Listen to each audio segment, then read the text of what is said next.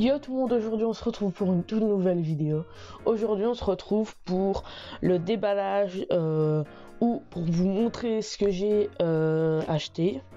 Il y a déjà euh, il y a 2-3 mois que je l'ai acheté, c'est la GoPro Hero 7 Silver. Je l'ai essayé, testé, je vais vous dire tout ça dans la vidéo. En plus, il y aura un pack acheté sur Amazon avec 50 objets pour, euh, bah, pour la GoPro, pour attacher, pour attacher sur un vélo, etc. Ensuite, je vais vous montrer les accessoires que j'ai acheté GoPro. Et après, il y aura encore un autre pack à acheter sur Amazon pour aller sous l'eau. Ensuite, on ira regarder euh, l'application GoPro, les paramètres de la GoPro Hero 7 Silver et volleyball. C'est parti, bon visionnage. On va déballer la GoPro Hero 7 Silver. Sur le packaging, euh, il y a une GoPro. Euh, le, truc pour mettre la GoPro, une petite, un petit écrou pour mettre sur les petits caches et un câble micro USB vers Type C. Voilà ce qu'il y a.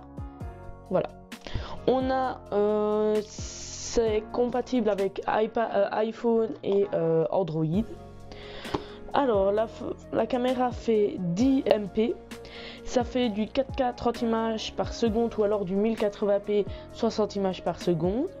Elle peut aller jusqu'à 10 mètres sous l'eau maximum. Euh, il y a une reconnaissance vocale, genre OK Google, prendre une photo, elle va le faire. c'est tactile. Il y a le GPS dessus. Il y a le WDR, je ne sais pas ce que c'est, et le slow-mo, pour moi c'est slow motion, on peut faire en x2. Voilà, je vais vous montrer.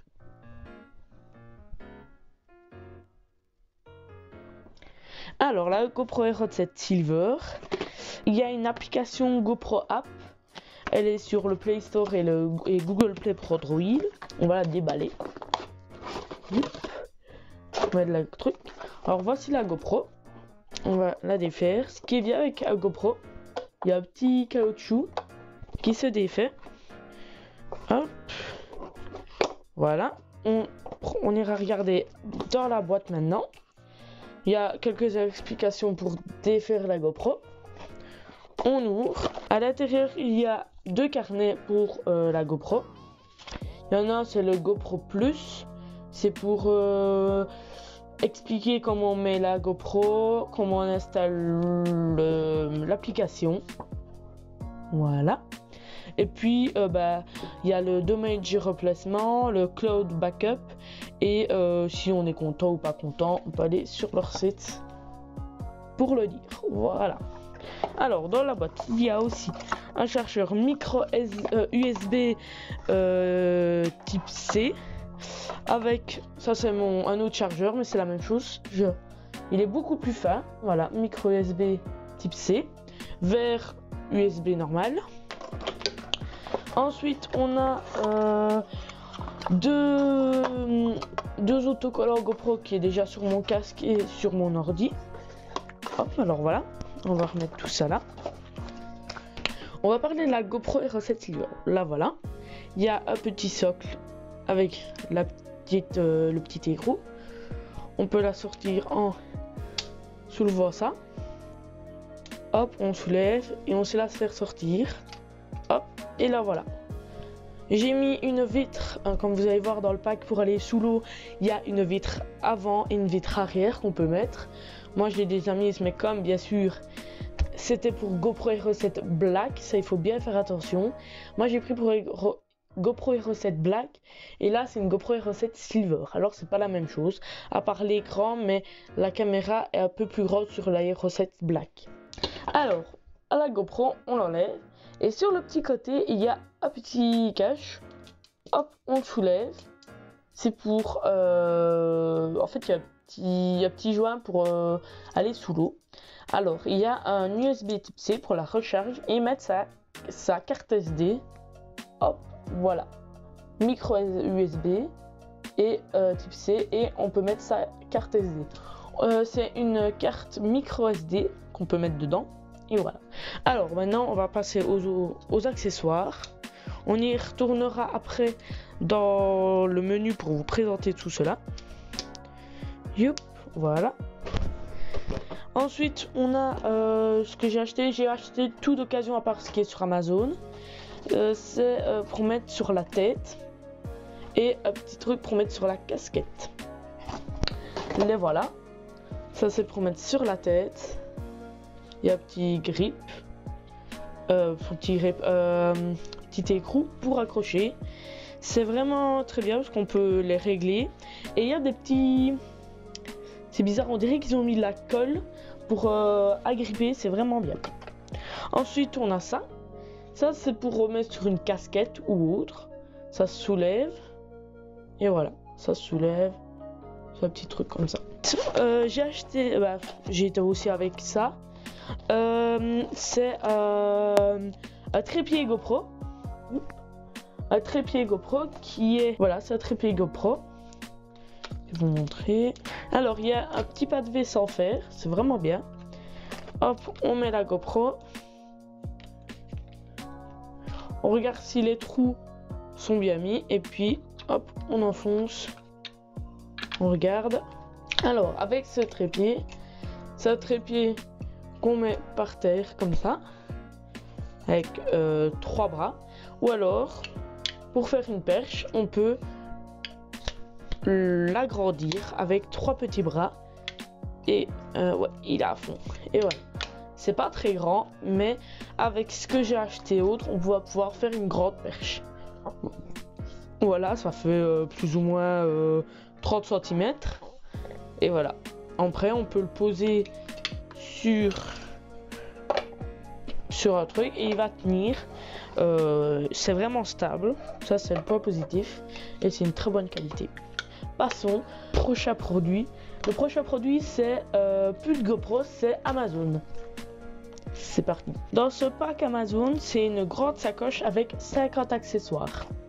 Alors, le premier accessoire, c'est un trépied. Hop, pour mettre sa GoPro ou mettre autre chose. Euh, il est vraiment bien amovible. On peut le tordre dans tous les sens. C'est vraiment très bien. Moi, j'en ai deux qui est sur mon GSM et franchement, il fait vraiment l'affaire. Et ça, c'est trop cool. Le prochain produit, c'est euh, pour mettre sur un guidon de vélo. En fait, ça se déclipse. J'ai jamais utilisé. Ça se déclipse, c'est un petit truc en fer. On règle et on vient, par exemple, je veux qu'il soit au premier, au deuxième, mais il va se mettre au deuxième. Et ça vient se visser, c'est vraiment bien fait. Et en fait, on a un petit, par exemple, hop, là, c'est vraiment compliqué, mais aussi il faut qu'il y ait un bâton. Voilà. Je vous montrerai ça juste là maintenant. Voilà. Ça se clipse. Euh, et c'est vraiment sur le guidon. Et puis après, ensuite, avec ça, on peut prendre des accessoires pour mettre sur sa GoPro. Ensuite, on a un, un truc pour... Un truc, il y a beaucoup de trucs. Euh, c'est quelque chose qui met sur des vitres euh, de voiture, bah, une fenêtre ou quoi. On vient le clipser, hop, on vient le clipser par le petit truc là. Et ici, si on tourne ça, ça va être plus amovible. Et si on le referme, ça va être beaucoup plus dur. Là, c'est bloqué. Ici, la même chose. Hop, il peut aller de gauche à droite. Faut faire attention de ne pas le perdre parce que c'est une petite vis. Et si on ne veut pas ça, bah hop, on dévisse ça. Quand c'est enlevé, on enlève la vis. Hop, on enlève et on a ça tout seul. C'est euh, des petits accessoires pour euh, modifier. Genre si sa GoPro est sur un casque et qu'on veut, bah, on veut l'orienter d'un sens, mais on n'arrive pas parce qu'on n'a pas assez d'accessoires. Mais ici, c'est plein de petits accessoires pour accrocher. voilà. Fait, c'est des petits accessoires comme ça avec euh, pas de vis et on l'oriente comme on veut euh, sur euh, sur son casque ou autre. Alors, ça c'est pas pour GoPro. Si c'est pour GoPro, on peut mettre sa GoPro, mais c'est pas top. Moi, je l'utilise pour mettre mon GSM. C'est un truc. Hop, il y a un pas de vis là et un pas de vis ici. ça, je veux dire, ça ça tient le GSM sur par exemple ici hop on visse Et voilà, c'est bon, on peut l'utiliser. C'est une petite sangle, petite lanière, qui va avec... Ah oui, il va avec cela. Je vais dévisser. En fait, ce trépied, comme je vous ai parlé, on visse ça là derrière. Hop, on a vissé. Ça fait une draconne, on le met et ça nous fait une perche. On tourne. Si on veut euh, que ce soit euh, court, on tourne une fois, on soulève, on referme. Ça, c'est anti-horloger, on déverrouille, horloger, on verrouille. Alors là, voilà, il est mal fait. Par exemple, je veux qu'il soit là, hop, je le bloque. On peut choisir la distance qu'on veut. Ça, c'est vraiment cool. Ici, prochain, si on veut encore que ce soit plus long, on tourne encore. Il y a un deuxième qui sort. Et si on veut que ce soit encore plus long, mais ça, ça plus plus dur, voilà. Voilà, ça fait euh, bien, ah, je vais pas dire un mètre, mais voilà. On referme bien, on fait horloger et ça reste bouger. Par exemple, je veux un peu moins, hop, je referme et ça tient. Voilà. Et en fait, c'est à chaque fois un bras qui se, qui se tourne, qui se bloque. Voilà. Youp. Avec ça, si on veut, comme si on n'a pas envie, si on a envie de faire un time lapse et euh, on le garde, ben on se dit merde, je ne sais pas l'accrocher, et on ne sait pas le tenir pour mettre. Alors, on va prendre le trépied, on va l'ouvrir, et avec ça, ben, pour déjà pour mettre sa GoPro ici au-dessus, c'est un adaptateur, tu visses, hop, et tu peux mettre ta GoPro dessus. Voilà. Mais moi j'ai envie de tenir sur mon trépied. En fait, ça, c'est. Euh, vous montrer, c'est pas encore ça, mais c'est pas grave. Je ne sais pas où je l'ai mis. En fait, ça, ça se visse sur le trépied. Et hop, on vient. Et on visse. Ça pas de vis standard. Et hop, voilà, on a notre trépied, il tient tout seul. Et voilà, on peut le faire. Voilà, on met le petit trépied, euh, le pas de vis, le trépied, et voilà. Il y a beaucoup de trépieds, de trucs, machin chouette. Alors, c'est des, euh, euh, des, des, autocollants pour mettre sur son vélo, sur une voiture, etc. C'est de la marque VHBTM, c'est du 3M, parce que c'est la marque d'autocollants. Voilà, c'est des, autocollants pour accrocher sur quelque chose. Ça, c'est pour mettre sur son casque. Hop, j'ai envie de voir ma tête sur mon vélo. Bah, j'accroche ça sur mon casque et en fait ma GoPro sera là pour voir ma tête ou un autre paysage qui soit en relief. Alors ici c'est encore une sangle, mais voilà. Euh, passons. Ah oui, ça c'est très bien, c'est pour aller dans l'eau. C'est euh, pour que ça flotte. On a ça et on peut mettre, peut tourner, mettre la GoPro, etc. Ensuite, c'est un harnais pour mettre sur son torse avec euh, tout. J'ai déjà testé, c'est vraiment bien, il gêne pas, il fait pas du tout mal. Voilà.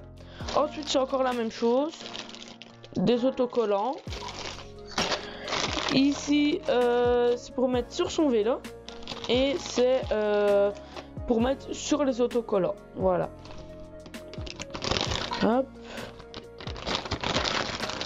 Voilà. Ensuite, on a euh, ah un truc pour mettre euh, sur sa tête, comme GoPro. Voilà. Et là, c'est euh, une sangle pour mettre sur son bras. ça met avec un adaptateur, etc. Ça, moi, j'aime vraiment bien en fait. Tu le mets où tu veux et tu dévisses un peu la vis et tu peux le faire tourner sur où quand tu veux, comment tu veux, voilà. Je n'ai pas de tournevis ici, alors je ne saurais pas vous montrer. Euh, ouais non, j'en ai pas. Bref, c'est pas grave.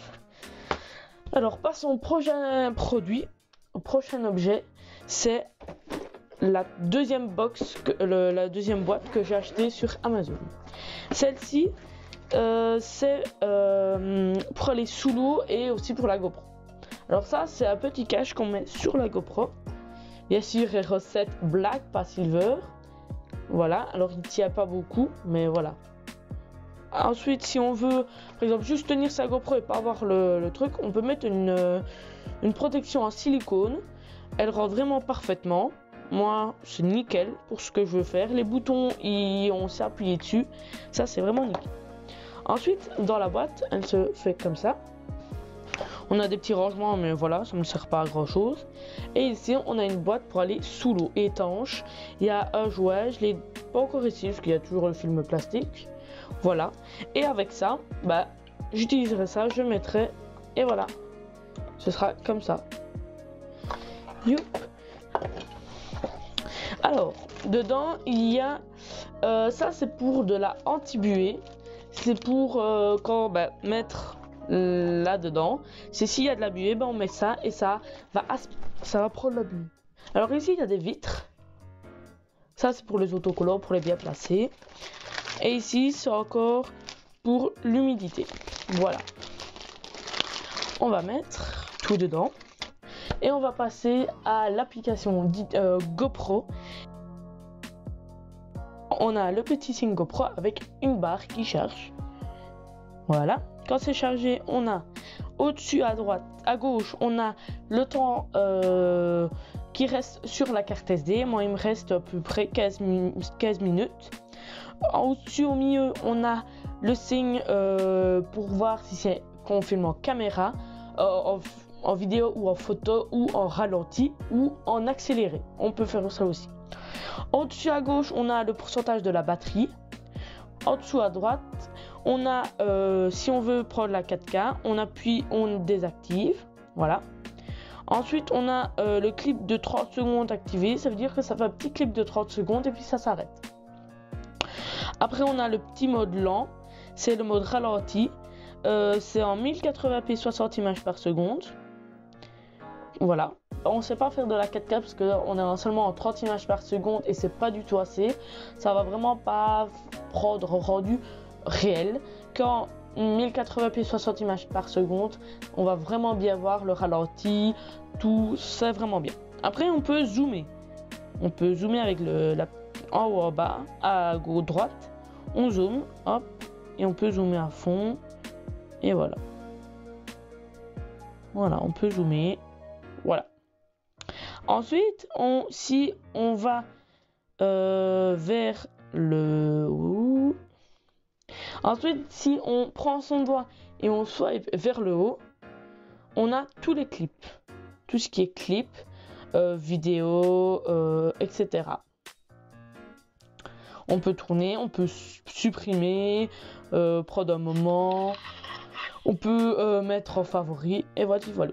On repart, on redescend, et après, là, on est sur la page de garde de base, et on redescend encore, et là, on a les paramètres généraux il y a l'heure, on voit que le GPS est activé, on voit que le GSM n'est pas connecté à la GoPro et euh, les, petites, euh, petits nuages c'est le cloud. C'est-à-dire que je peux prendre mes fichiers de ma GoPro et les mettre sur mon GSM.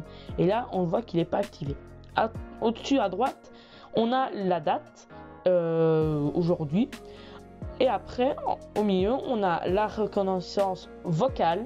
Par exemple, je dis GoPro allume la vidéo il y a eu un petit, euh, petit trait rouge sur le côté et comme vous le voyez là, et ça allumé la vidéo. On va dire GoPro arrête la vidéo et voilà, il arrête. Repassons dessus.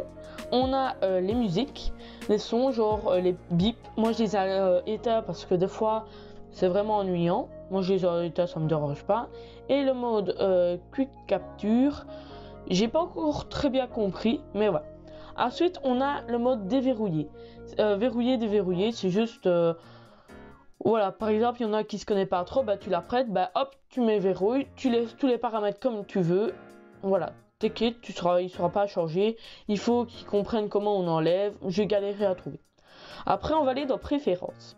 Préférences, on va taper dans connexion. Connexion, soit fait le oui, c'est pour connecter à sa, son GSM. Après, il y a connexion à l'appareil GoPro. Et quand on veut info de la caméra, voilà. On va, euh, nom de la caméra, moi j'ai mis mon petit bijou, voilà, j'ai mis un nom. Et puis il y a le mot de passe. Le mot de passe, c'est euh, pour connecter à son GSM, mais je vous le montrerai pas. Revenons, euh,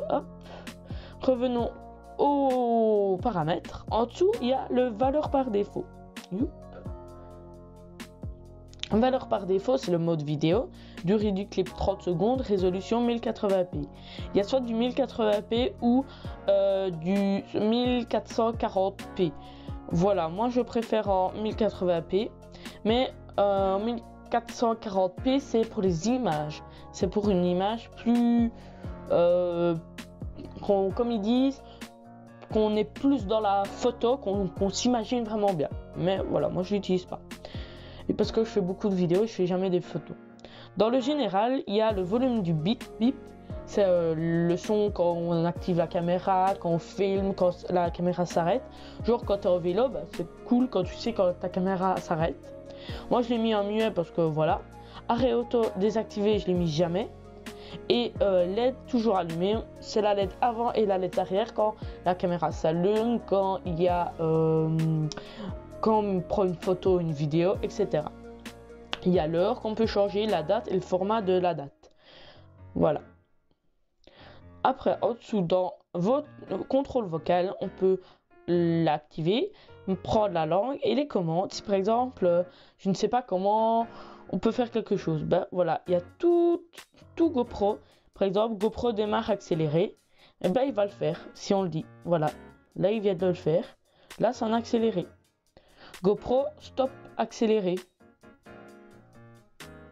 Attendez, mais là je ne sais pas comment ça s'appelle. Alors on va arrêter. On va retourner dans les paramètres. Vocal, voilà, commande. Et on va les regarder. Par exemple, il peut prendre une euh, photo rafale. On le dit comme ça et voilà, il va le faire. Après, on a euh, l'écran tactile. L'écran tactile, on peut regarder. Verrouillage de paysage, moi j'ai mis non. Économiseur d'écran, une minute. Ensuite, on a la luminosité. Moi je l'ai mis à 100%. Parce que des fois on voit pas bien la journée. Comme j'utilise plus la journée, bah, c'est toujours bien d'être surtout dehors comme il y a beaucoup de luminosité. Voilà. Après, régional, c'est le GPS, la langue, le format de la vidéo. NTSC. En fait, il y a le NTSC ou le PAL. Nous, en Europe, on est sur le NTSC et le PAL, c'est pour tout ce qui est américain, Canada, tout ça. C'est euh, la fréquence avec nos appareils électroménagers. Par exemple, une lampe est en NTSC. C'est pour pas avoir des petits, des petits du bruit sur euh, la vidéo. Et puis, euh, il y a le format de la vidéo, voilà. Et puis il y a la réglementation. Réglementation, c'est, euh, je ne comprends pas ce que c'est. C'est euh, plein de petites commandes, voilà. Bref, on retourne et on va dans à propos. À propos, c'est mise à jour de la euh, GoPro ou alors caméra. Faute de la caméra, c'est le numéro de série et le numéro de la version. Voilà. Et si on veut la réinitialiser, on va dessus, formater la carte SD, réinitialiser les paramètres par défaut, réinitialiser astuce de la caméra, réinitialiser les paramètres de l'usine. Alors maintenant on va passer au poids positif. Les poids positifs sont qu'elle est légère, on peut la prendre partout où on veut, ça c'est vraiment cool. Euh, qu'est-ce que je peux dire d'autre? Le... problème c'est que c'est la silver, c'est pas encore la meilleure. C'est ça le point négatif. C'est euh, comme la GoPro Hero 7 Black, faut franchement, je vous conseille de prendre une Hero Black, n'importe laquelle, pas une Hero Silver ou une White. Parce qu'on ne peut pas faire grand chose avec, c'est ça le problème. J'ai pas regardé, je m'y connaissais rien du tout dedans. Pour les passages négatifs, le seul problème c'est que euh, on peut pas changer le shutter, les ISO, euh, tout ça. Ça c'est vraiment dommage. On peut pas choisir si on veut du 25 images par seconde ou autre. Là, c'est direct du 1080p 60 images par seconde ou du 4K 30 images par seconde. Par exemple, moi je veux faire du 1080p 30 images par seconde, bah je pourrais pas. C'est ça le problème. Après, euh, l'écran tactile est vraiment mauvais, mais ça c'est sur toute GoPro.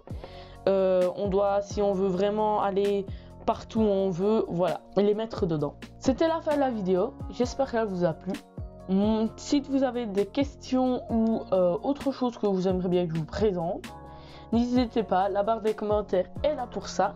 Si vous avez des questions, tous les produits que j'ai achetés seront dans la description.